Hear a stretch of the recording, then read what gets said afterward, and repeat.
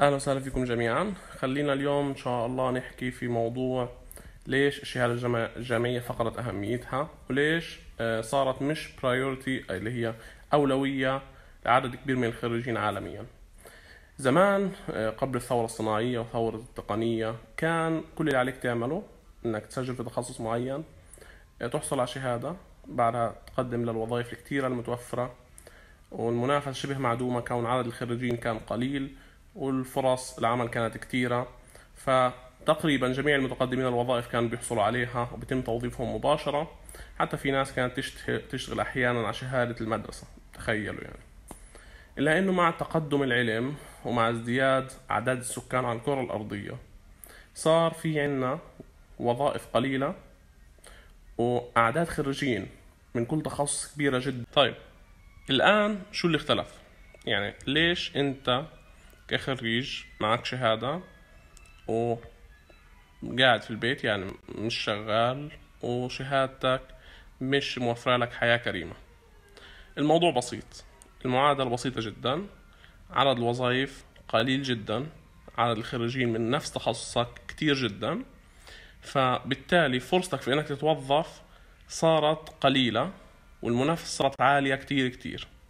فأنت إذا ما كان عندك ميزة تميزك غير الشهادة صعب جدا تحصل على وظيفة.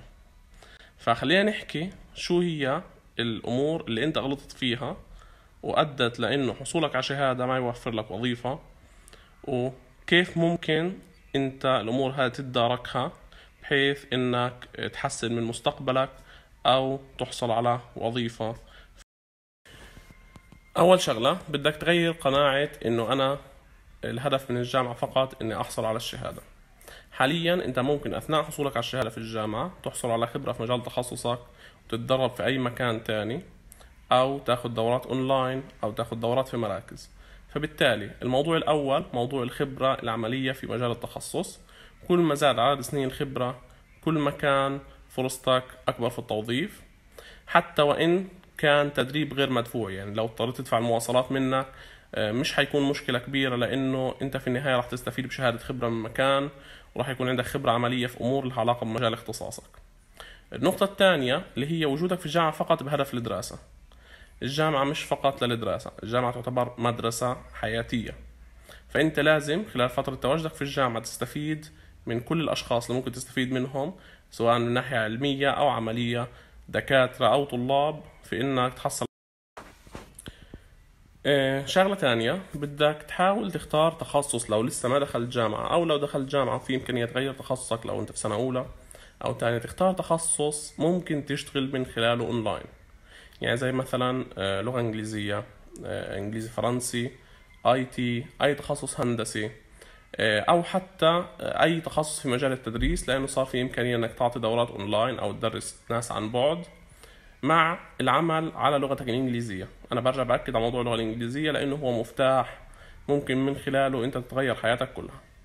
فبدك تحاول قدر الإمكان تختار تخصص مطلوب مش محليا يكون مطلوب دوليا ممكن تشتغل من خلاله أونلاين.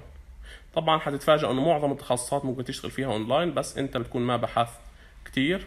موضوع اللغة الإنجليزية يعتبر ميزة رقم واحد لمعظم. المشغلين. في جميع الشركات. طيب الآن نفترض أن لغتك الإنجليزية ضعيفة. آه، أنا عملت شروحات كيف تحسن لغتك الإنجليزية. لو أنت مش تبع شروحات أونلاين ممكن تروح على أي مركز. آه، بدرب على اللغة الإنجليزية في مدينتك أو في بلدك وتحسن من لغتك الإنجليزية. وتبدأ تاخد دورات أونلاين في مجال تخصصك أو تبدأ تاخد دورات في المراكز.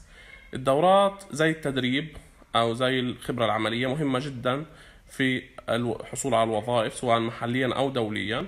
كل ما زاد عدد سنين خبرتك كل ما زاد عدد الدورات اللي أنت ماخدها كل ما زادت قوتك في اللغة الإنجليزية وكل ما كان آه، معدلك عالي يعني جيد جدا فأعلى حتزيد فرصك في التوظيف لكن بشدد على موضوع الخبرة العملية فبالتالي الجامعة الشهادة الجامعية مش كافية إنه أنت تتوظف. هاي القناعة أصبحت قناعة خاطئة. ولازم تغيرها لأنه الموضوع في النهاية صار موضوع نسبي. فالنقطة اللي بدي أنوه لها إنه مش لازم تحمل الكون. جميلة إنك حصلت على شهادة جامعية. أنت غالبا يوم ما تخرجت تخرج معك في دفعتك 40 أو 100 شخص. نفس تخصصك في ناس معدلاتها أعلى في ناس معدلاتها أوطى. فشو اللي بده يخلي أي مشغل أو أي شخص بده موظف ياخدك أنت ما ياخدش اللي أعلى منك أو ياخدك أنت ما ياخدش اللي عنده خبرة أكتر؟ أو اللي متدرب في أماكن أكتر أو اللي له واسطة مثلا. يعني الواسطة دي موجودة. فأنت إذا ما لك واسطة بدك تحاول تشتغل على سنين الخبره تتدرب في أماكن تاخذ دورات مجال تخصصك تطور من لغتك الإنجليزية وتحاول تشوف عمل أونلاين لك في مجال اختصاصك. طبعا آه، الأونلاين موضوع واسع جدا وراح نحكي فيه في شرح تاني بس النقطة اللي حابب انوهها الآن إنه مش معنى إنك معك شهاده إنك راح تتوظف. هذه قناعة لازم تبطلها. لازم تكون قد حالك عشان تشتغل. طبعا آه، برجع بأكد على موضوع إنه كل آه، إشي أرزاق. يعني إذا أنت مكتوب لك الرزق الرزق راح تاخده لو وين مكان. بس لازم تشتغل على حالك. يعني آه، ما تطلعش تحت رجليك فقط. طلع للأمام. شوف هل أنت في هاي المرحلة. في عندك أمور تانية غير الشهادة بتأهلك للحصول على وظيفة.